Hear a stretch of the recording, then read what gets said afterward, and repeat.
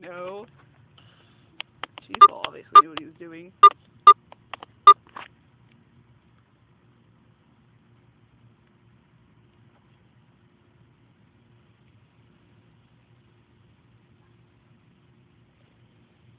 Ah!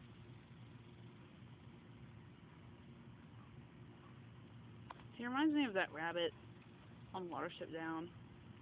Like the one that's supposed to be. Oh, Stalin? The guy that helped Hitler? What was that guy's name that starts with an S? That what his name was? What? Yeah. guy from Russia? I don't know. But he's not supposed to be Hitler, I don't think. The one on Watership Down, I don't know what he's supposed to be. But he's supposed to be some kind of Nazi officer, but he's not supposed to be Hitler. He was just running one of the concentration camps. Look at him pushing dirt. Himmler? Maybe. Yeah, my judge's last name is Himmler. Did they just say